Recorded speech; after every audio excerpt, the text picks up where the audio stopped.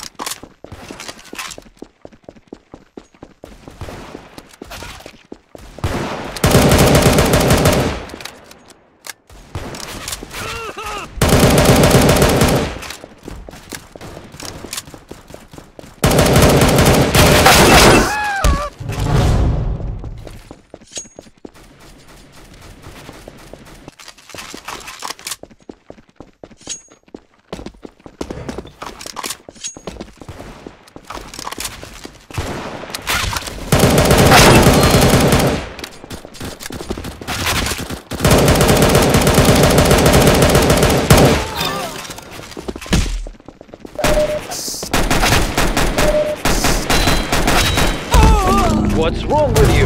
Don't let him do that!